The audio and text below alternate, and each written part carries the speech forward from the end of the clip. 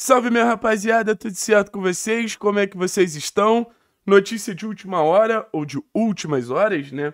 Que a gente acabou tendo do jornalista Martim Charqueiro e jornalista, deixa eu entender de onde ele é, de Montevidéu, no Uruguai. Ele trouxe a informação que o nosso atacante Agustin Canóbio, atacante do Atlético, atacante da seleção uruguaia, recebeu uma proposta do futebol espanhol para jogar na equipe do Granada.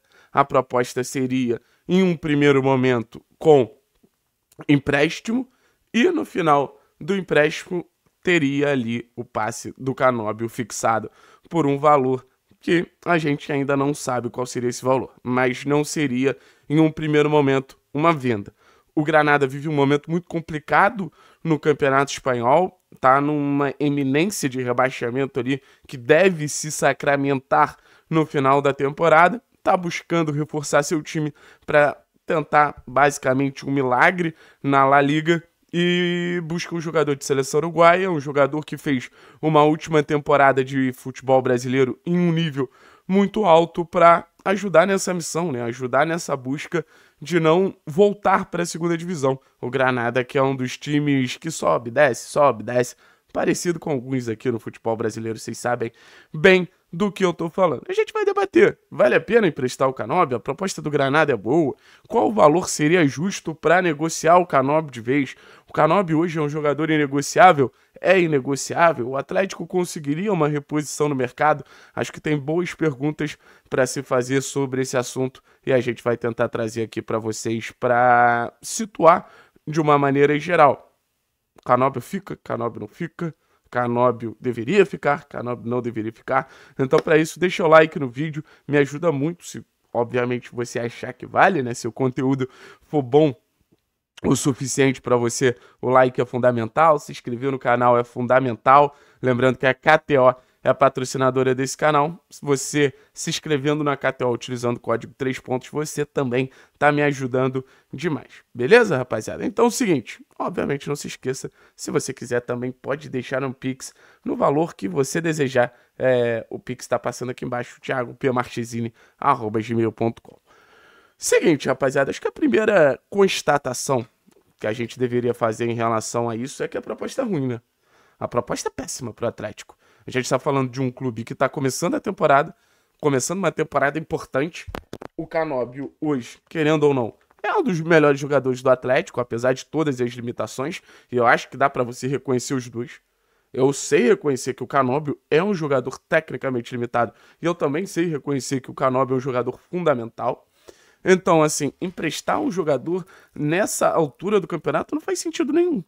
Mas não faz sentido nenhum. Ah, Thiago, mas se a recompensa é, for, for muito boa, será que não vale a pena a gente, pô, emprestar por um valor e depois ainda tem chance de ganhar mais um valor?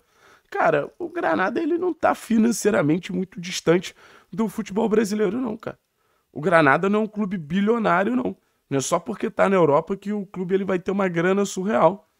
O Granada, acho que tem até um poder de investimento maior que do Atlético. Mas, assim, se você for pegar as últimas grandes contratações do Granada, você vai estar ali na média de 7, 10 milhões de euros. Ou seja, você vai perder o Canobi por um prazo para ver aí se você vai ganhar o dinheiro.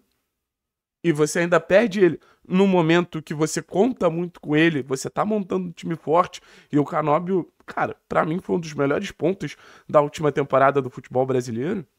Não faz sentido. Se o Granada chegasse e falasse, o Atlético, a gente está oferecendo 7, 8 milhões de euros aqui pelo Canóbio, a gente queria levar o Canóbio agora.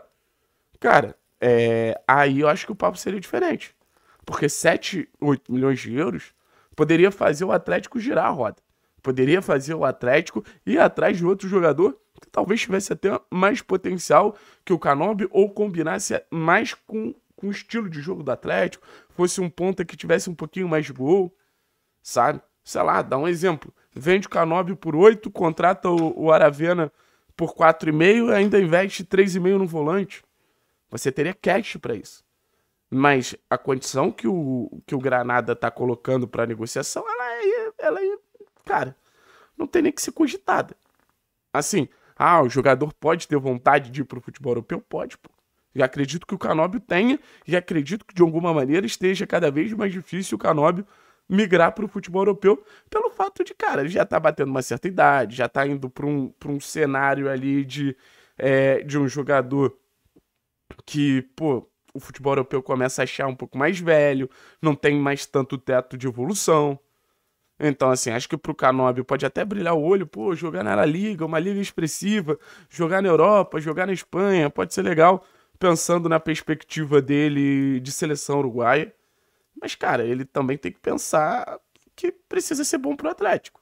E nessa atual condição, não é bom pro Atlético. Ponto. A proposta que o Granada fez é completamente dispensável. Mas, como eu falei, eu acho que o Canóbio é um jogador muito importante. Mas muito importante mesmo. Eu acho que o Canóbio está num processo de evolução interessante.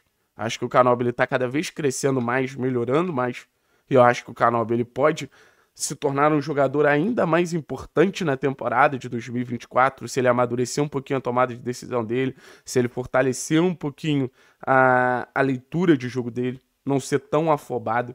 Acho que ele precisa jogar pela esquerda, que é, é, é a posição onde ele garante mais participação, garante mais efetividade. O Canóbio hoje é um ponta esquerda. Mas nessas condições eu quero contar com o Canóbio. Eu não quero perder o Canóbio. E acho que o Atlético também deveria querer contar com o Canóbio. Ah, mas pode ir no mercado contratar alguém melhor? Pode. Pode. Como eu falei, deu o exemplo do Aravena. Eu não duvido o Aravena chegar e entregar mais gol, mais assistência que o Canóbio. Mas aí você tá botando uma condicional que depende não só do Atlético, depende do Granada depositar essa grana no, no, nos cofres do Atlético. A realidade do Atlético hoje é contar com o Canóbio e beleza, Granada, forte abraço, muito obrigado. A gente está montando um time forte para o centenário e é isso. Não tem muito mistério, cara. É uma situação que não tem muito mistério. Acho que hoje o Canóbio é, é titular absoluto do Atlético. Acho que é um dos poucos que é titular absoluto do Atlético. Falando em, em assim, independente do contexto, acho que quando você vai elevar um pouquinho o nível do, do jogo do Atlético, os jogos de Campeonato Brasileiro, os jogos de, de Copas, não dá para pensar num Benítez titular hoje e um Canóbio no banco. Não dá para pensar. Óbvio, Benítez pode ser lapidado, Peterson pode ser lapidado, Coelho pode crescer, mas hoje o Canóbio tá bem à frente deles. E eu vejo assim como um, como um, um, erro se o Atlético resolver dar sequência a essa negociação. Um erro, claro, Acho que o Canóbio representa muito também a competitividade, a energia do Atlético, né? Eu acho que ele tem uma personalidade muito legal nesse sentido de nunca parar de lutar, de nunca parar de disputar, nunca parar de competir. Eu acho que essa é uma das grandes qualidades do Canóbio.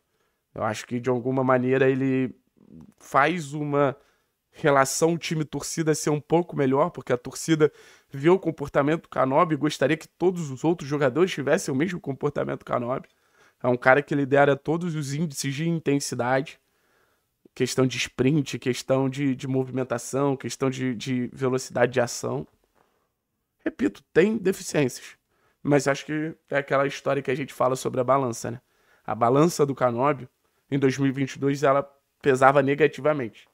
Hoje, a balança do Canóbio, ela pesa positivamente. Então, assim, não tem nem muito o que repercutir.